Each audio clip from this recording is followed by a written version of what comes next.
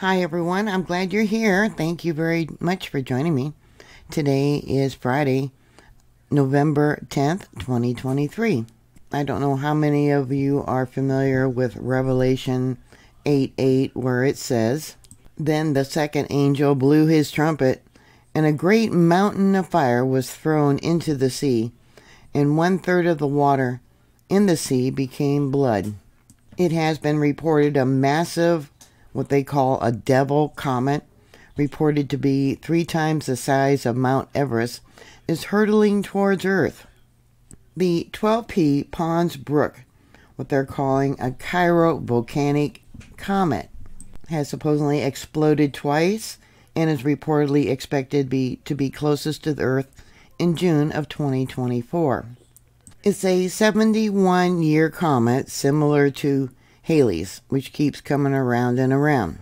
And this thing is massive. They estimate that it's somewhere between 18 to 25 miles across. Besides being so massive, it's considered a cryovolcanic comet, uh, meaning that it has ice eruptions. In the last four months, there's been two explosions off this comet. So it's got two tails coming off of it that's why they're calling it either the uh, Devil's Comet or the Millennial Comet.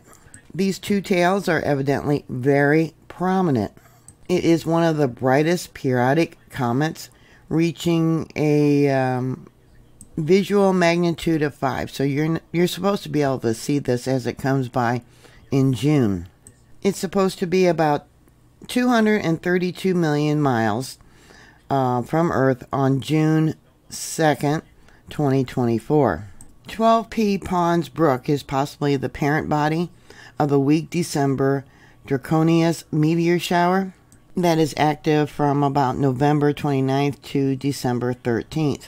There aren't that many comets that have outbursts.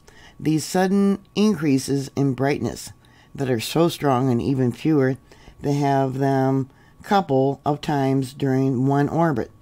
Um, seems like Pons Brooks is just that case. The coma of the comet, the fuzzy cloud around its nucleus, has a shape resembling two devil horns, which differs greatly from most other comets. The 12P Pons Brooks is not usually visible, but could be as as it does pass over the United States and Canada and Mexico during the solar eclipse of April 8th, uh, 2024.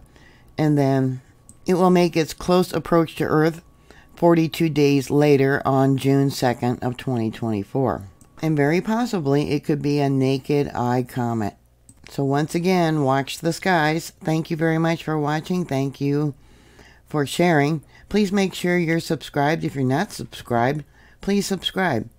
And I'll talk to you later. God bless you. Bye.